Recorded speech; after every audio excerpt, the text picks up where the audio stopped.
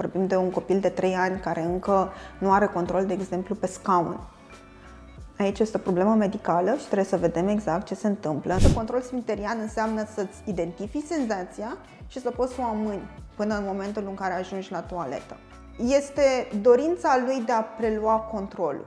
Mulți copii care au control sfinterian îl folosesc apoi, fie prin nu mai fac caca.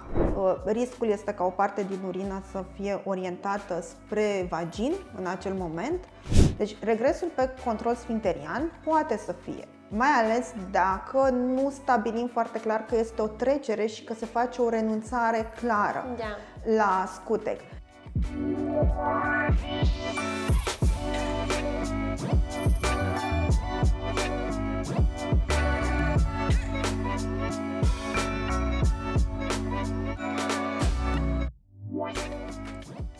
Bună, sunt Roxana Cristianovici, medic specialist pediatru și astăzi, în episodul ABCDpedia, discutăm despre renunțarea la scutec. Și cum puteam să facem mai bine lucrul acesta decât să am alături de mine pe o mamă care trece prin această etapă de dezvoltare alături de copilul ei. Bine ai venit, Lisiana!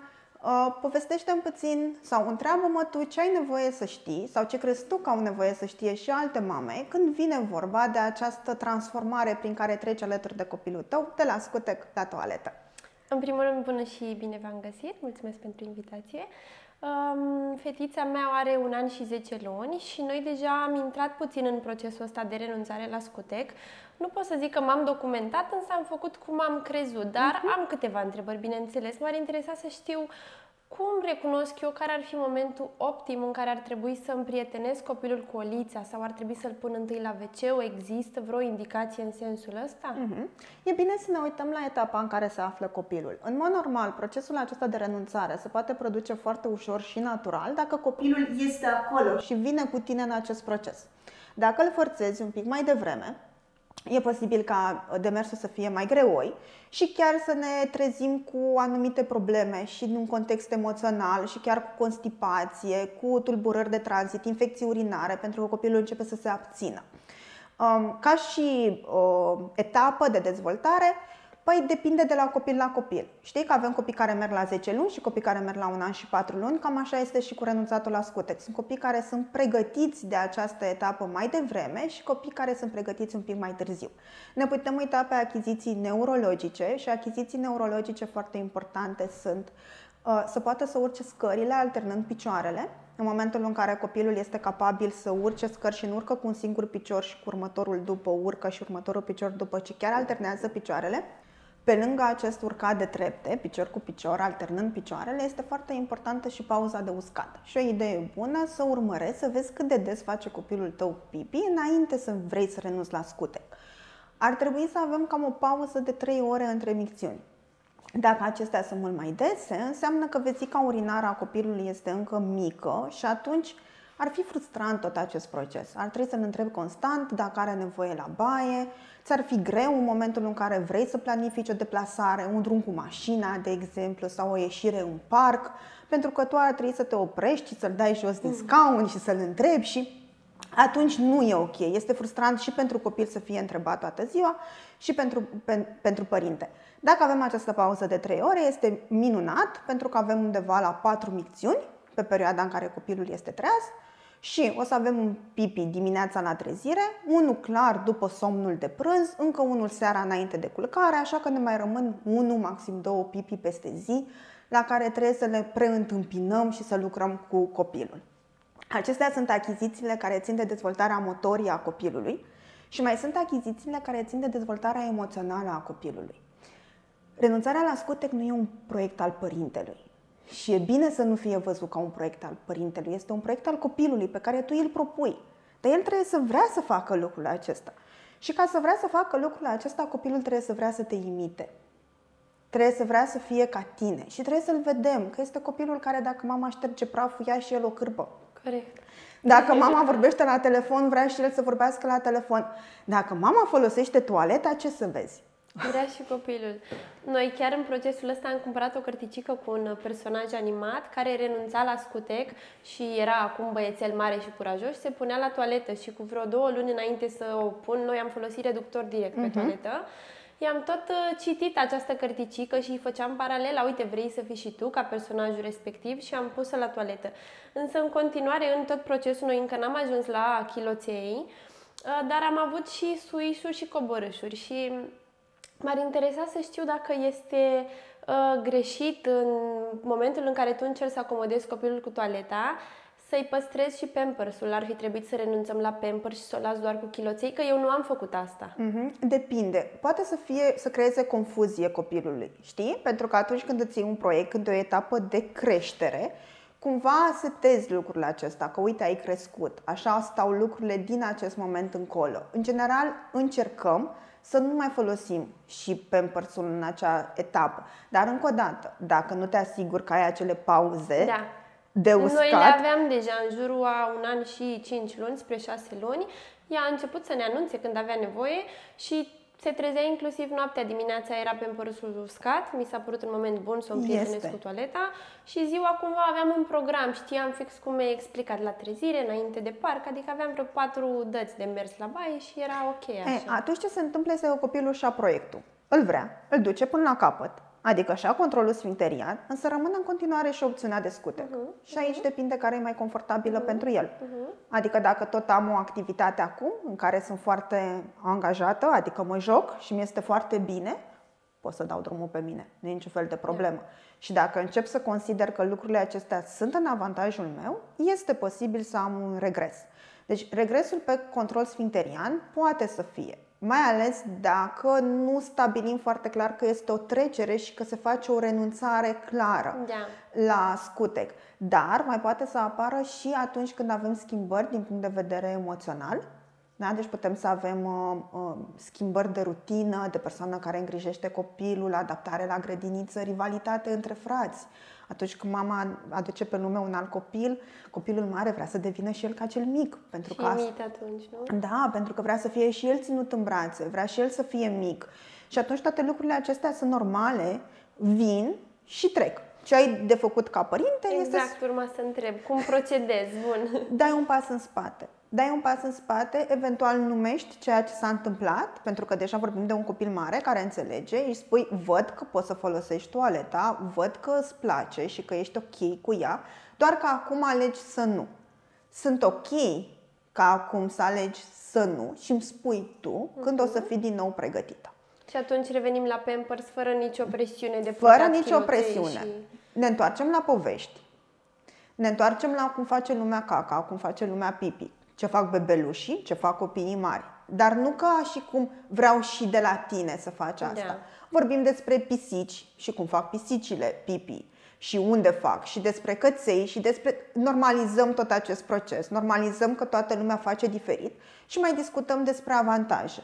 Pentru că iarăși este un copil mare, putem să-i spunem, uite, atunci când faci pipi la toaletă, ești uscat la final. Ștergem, nu mai este sentimentul acela de ud, care e destul de neplăcut, e mult mai curat în momentul în care folosim toaleta, e mai curat pentru că nu te murdărești atât de tare de caca, prezentăm beneficiile, fără a pune presiune. Da? Știm că copilul are control sfinterian, deci nu mai avem problema de achiziție de control. L-am obținut, ci din diverse motive, presiune, schimbări și tot, este dorința lui de a prelua controlul. Mulți copii care au control sfinterian îl folosesc apoi, fie prin nu mai fac caca, refuz să mai fac caca și stau 3-4 zile fără, fie refuz să mai folosesc scutec, uh, toaleta sau olița, vreau să fac în scutec, dar eu știu când fac și controlez cum fac, dar vreau un scutec, este pentru că am nevoie de control în viața mea. Ceva s-a întâmplat împotriva voinței mele, mă duc la grădiniță sau mama se întoarce la muncă uh, sau a venit încă un copil mic la noi în familie, așa că o să-mi iau control acolo unde pot. Și sunt două moduri în care pot să-și ia. Fie pe mâncare, nu mai mănânc și hotărăsc să nu mănânc, fie pe ce scot. Când scot și cum scot, sunt două lucruri ușoare. Uh, Poți să încerci jocuri de putere. Jocurile de putere sunt acelea în care, prin joacă, îi dai copilului tău control, îi dai voie să te uh, facă mică și neajutorată pe tine. Nu știu, eu mă jucam cu fetele mele când eram așa la vârsta aceasta, mă puneam în fața ușii și le spuneam n-ai voie în dormitor. Nu te duci în dormitor. Și ele intrau printre picioarele mele de fiecare dată în dormitor și eu ziceam, vai, nu se poate, ai intrat, ai reușit. Și mă duceam și le scoteam așa super zâmbăreață, le puneam înapoi și le zic, gata, nu Ca să treci de mine. exerseze ea, da. Da, ca să exersez această nevoie de control și de a mă învinge și de a decide. De asemenea, le dai decizii de ții tricoul albastru sau tricoul galben, în care iarăși dai puterea de decizie. Astfel încât cu cât ei obțin în altă parte, reușesc să se relaxeze pe partea aceasta. Zâmbesc fiindcă cea mica mea și-a luat puterea asta de decizie la haine cu ceva luni în urmă și n-a fost ideea mea. Da, e nevoia de control. Copiii au nevoie de control și o să-și găsească variante și tu o să trebuiască să găsești jocuri în care să-i dai și mai mult control. Dacă este mare și poate, fă inclusiv jocuri de schimbare de rol în care ea e mama și tu ești copilul, în care ea te pune pe tine să te speli pe Noi dinți. facem așa, spre exemplu, când trebuie să venim la pediatru sau la alt doctor și atunci eu devin copilul și o rog să mă consulte și să-mi facă diverse, perfect. pregătesc ce va urma. E perfect. E perfect. Încearcă să faci lucrurile acestea așa cum cu ea și atunci o să avem o ușoară relaxare pe partea aceasta, adaptare la schimbările care au loc în viața ei și cel mai probabil și partea de control sfinterian o să se reia. Da? Deci uh, trebuie să facem un pic diferența între copilul care nu a reușit să achiziționeze controlul sfinterian, absolut deloc, cu toate că are o vârstă. Vorbim de un copil de 3 ani care încă nu are control, de exemplu, pe scaun. Aici este o problemă medicală și trebuie să vedem exact ce se întâmplă. Nu este normal ca un copil să nu facă, să nu poată să controleze când face caca. Da. Cei mai mulți dintre ei au control. Doar nu vor să folosească toaleta sau olița. Dar ei au control, ei pot să se abțină. Aici vorbim de partea aceasta de conduită emoțională, de modul în care interacționăm cu ei, de modul în care le-am prezentat lucrurile de la început, cu multă putere pe ei, da? îi dau proiectul în momentul în care știu sigur că îl poate duce, nu înainte de timp și ofer toate instrumentele necesare. Iar cel mai bun instrument este acela că îl iau cu mine, când mă duc la toaletă și prezint Procesul. toate etapele. Da. Foarte important acest toate etapele. Adică nu-i spunem, "Am- mama a venit și face pipi. Nu, mama mai întâi își dă pantalonii jos, apoi chiloții, apoi își așează pe toaletă. Și toaleta cum e? E rece. Uh-huh. E foarte important să pregătim inclusiv aspecte din acestea. Copiii care sunt foarte mici se inhibă sau uneori se sperie inclusiv de la senzațiile acestea care sunt noi. Apoi, mama relaxează piciorușele, relaxează fundulețul, strânge burta. Da, acestea sunt procesele și așa ajungem să eliminăm ce vrem noi să eliminăm. Apoi, da, ne ștergem, tragem apa, ne spălăm pe mâini. Toate etapele sunt extrem de importante și fiecare etapă trebuie prezentată. Pentru că altfel sunt părinți care îmi spun, da, vara, pentru că nu sunt haine, și că l-am lăsat dezbrăcat și cum vedeam că îi vine să facă, cum îl puneam pe o liță. Și a mers de minune, după care a venit toamna și nu mai Copilul n-a merge. mai ce să mai facă. Pentru că nu i-a prezentat nimeni că mai întâi trebuie să-ți dai hainele Da. jos. Și Și a nouă ni fost luat, nu a cerut el, n-a realizat că, uite, am o senzație în corp. Exact, e- ți-e ușor și atunci nu este o educare și nu e un control sfincterian pe care copilul l-a obținut, ci este o întâmpinare. Mama este foarte atentă, vede că începe așa, mai ales dacă e băiețel să se încordeze un pic penisul, zice, oh, asta e el, iei repede și îl pui și am spus că am rezolvat. Nu e. Și toamna, de fapt, ce lucrăm noi atunci este că abia în acel moment, cu toate că copilul face la o liță de 3 luni de zile, lucrăm pe control sfinterian. Da? Iar Da. controlul sfinterian este diferit de educarea la o liță. Control sfinterian înseamnă să-ți identifici senzația și să poți să o amâni până în momentul în care ajungi la toaletă. Punem copilul pe o liță sau pe wc Eu, spre exemplu, am ales uh, wc cu reductor pentru că modelul meu de copil nu stă locului. Inițial am luat o liță și când am văzut că după ce o folosește vrea să o arunce în sus și în toate direcțiile, am trecut-o la wc Am făcut bine? Mie îmi place um, să mergem pe toaletă și pen- eu consider că este varianta și cea mai igienică și cea mai uh, naturală. Uh, cu mențiunea că dacă există o singură baie în casă, atunci este bine să avem și o oliță și eventual să învățăm copilul să le folosească pe amândouă. Știi? Adică și reductorul și olița. De asemenea, olița este o opțiune bună când suntem plecați și avem acele olițe portabile și care uneori ne oferă un pic mai mult confort dacă suntem, de exemplu, la mall sau suntem plecați în vacanță, la un restaurant, atunci cumva e posibil să vrem să folosească mai degrabă olița portabilă. Dar altfel, toaleta este o variantă foarte bună. Ce trebuie să nu uităm este reductorul și mai mult de atât treapta sub uh, piciorușă. Ca care... să fie genunchii la nivel. Da, da, da. Poziția în care copilul stă pe toaletă este foarte importantă, ca genunchii să fie mai sus decât fundulețul și foarte, foarte important genunchii să privească spre exterior, da. nu spre interior. Da? Pentru că în felul în care genunchii privesc spre interior, anusul este încordat, uh-huh. sfincterul de eliminare este de asemenea încordat și atunci nu reușim să evacuăm total vezica urinară.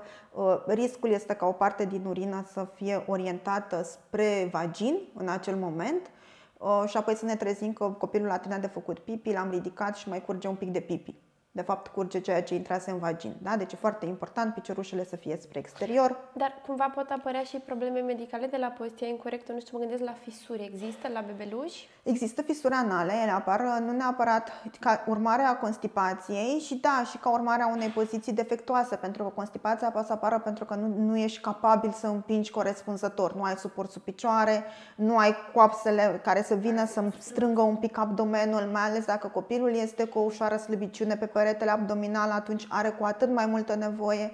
Nu este învățat să se aplece în față în momentul în care are uh, partea aceasta de uh, eliminare, da, să fie aplecat în față cu coapsele mai sus, da, putem și putem să avem fisuri anale, sunt destul de greu de, uh, de tratat, pentru că ce duc ele duc în constipație psihogenă, este una din complicațiile frecvente atunci când încercăm să renunțăm la scutec.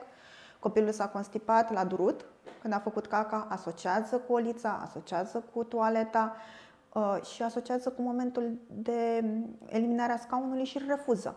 Deci el are control sfincterian da. și cu toate acestea o să amâne cât de mult o să poată datorită cauzei emoționale. Ce spuneam, sunt copii care la 2 ani, majoritatea copiilor la 2 ani au control pe scaun, însă care pot să refuze din alți factori decât faptul că nu reușește să se, uh, să se abțină. Dar să zic că ziua reușesc să o duc de fiecare dată la toaletă și folosește toaleta cu brio.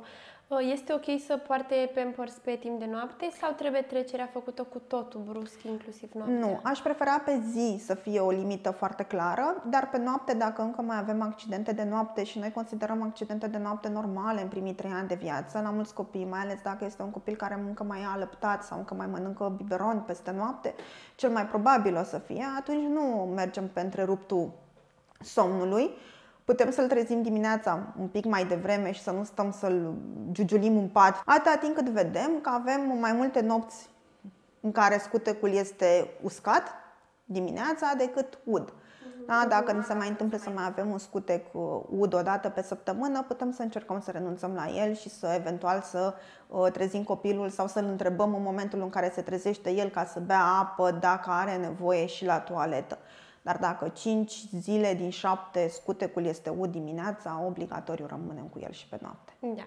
Printre prietenii mei, că majoritatea acum sunt la vârsta la care au făcut copii, sunt cam singura care am făcut trecerea asta de la Pampers la toaletă și am făcut-o destul de devreme, aș spune. Adică la împlinirea unui an eu am început să o familiarizez cu toaleta pe cea mică. La un an și cinci luni deja îmi cerea și putea să identifice ce are nevoie și să-mi spună și să fugă înspre toaletă. Uh, și mi s-a tot zis că este foarte devreme. Este devreme? Îi afectează cu ceva pe copii dacă începem prea devreme? Cumva, care e momentul optim încât să fie bine și pentru ei și să nu fie doar o graba noastră de părinți? Ce spuneam, depinde foarte mult în ce etapă se află copilul tău. Dacă copilul tău a mers mai repede, și atunci achizițiile pe partea aceasta de musculatură sunt... S-a ridicat de la 8 luni. Ok, ok. Și dacă începe să meargă, se ridică de pe scaun și se lasă, partea asta de coapse interne și de control pe mușchi se obține mai repede. Și atunci normal că un copil care uh, a mers la un an e capabil la un an jumate să renunțe la scutec pentru că există o dezvoltare acolo bună și de asemenea ți-am spus dimensiunea vezicii urinare care este ceva ce ține totuși de o moștenire. Unii dintre noi o să avem o vezică mai mică și mai tot timpul o să avem nevoie mai des, dar cu cât suntem mai mici, cu atât e mai mică. Uh, alții avem o vezică mai mare Eu consider că un an jumate este un an și patru luni, un an și cinci luni, este așa cam o vârstă în care poți să spui că poți să obții control sfincterian. Pe caca putem chiar un pic mai repede, chiar și, după, și în jurul vârstei de un an.